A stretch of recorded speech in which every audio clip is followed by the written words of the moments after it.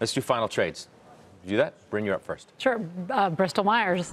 Um, we like Bristol Myers. You know, the market didn't like their acquisition of Celgene. Um, they're obviously the leader in immuno-oncology.